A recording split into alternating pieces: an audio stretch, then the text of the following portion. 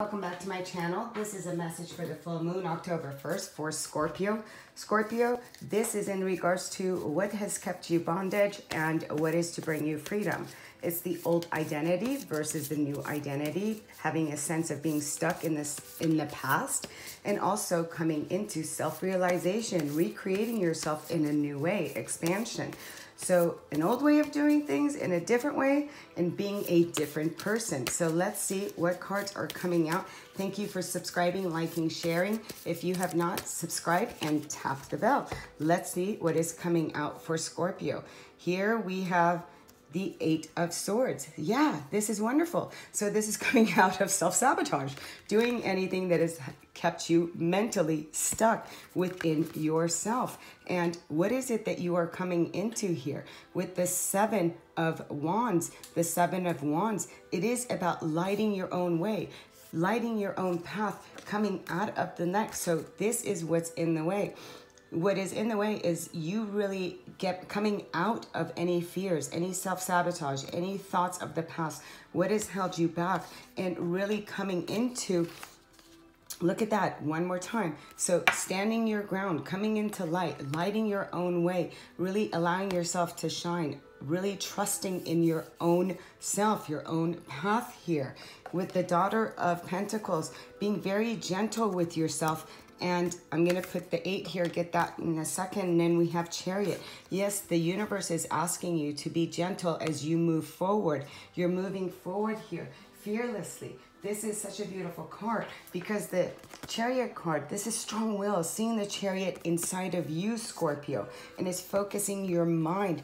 This is very focused. Focus on your dreams. The horse is free, has no rider. It's a sacred mission, living in alignment, spiritual and magical abilities and realizing that yes, this is what you're stepping into and you don't need to rush it. Take your time, but once you go in the chariot, it is movement and you are, look at that, in beautiful alignment with allowing yourself to shine, coming out of any self-sabotage of the things that are emotionally with the Eight of Cups not fulfilling, the things that you've taken to the level that you've taken it when this eight comes, it is taking you out of darkness. It is looking at the things that have been already broken. It's done. This is a complete cycle. You're going for the ninth cup. And in order to go for the ninth cup, you really have to see your own abilities to move forward in your own light and really standing in the truth of what is right for you, Scorpio. And as you do that, you come out of anything that has held you back, your own mind, self-sabotage, the fears, and coming out of darkness, what is no longer serving you. Because the Eight of Cups is that, you know, you've taken it, you've taken yourself as far as you can go. You've taken a situation as far as you can go. And now um, it's time for you to look at that. Claim your boundaries. Absolutely. It's like the seven here. This is saying, you know, I'm moving towards my truth, my path. I'm being very, you are being gentle with yourself towards your rainbow, towards what is true for you. This is new life that is birthing. And once you make that decision to live a very magical you, to allow yourself to create, to bring that passion back, you are ready now to let go of what has kept you stuck in old energy because you've taken it as far as you can go. And it's asking you tomorrow to meditate to really take um, a moment to go within. And meditation is key to evolving yourself by moving forward with taking the strength to move forward. And again this is very feminine energy. And here we have the horse very again masculine energy. So this is really being free. And the aries full moon is talking about bondage and freedom. And this is exactly what the card is bondage and freedom.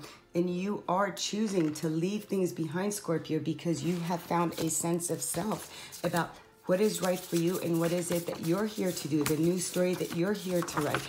And I'm going to take this. Okay, that one wants to come out. It says, I release the past chatter of my mind, ego, and old identity. So, Scorpio, your mantra for tomorrow as you do your ritual is I release the past chatter of my mind, ego, the old identity. Until in a few days, if you haven't subscribed, subscribe, hit the like button, comment and share. Sending you much love, much light. Happy full moon, Scorpio. Namaste.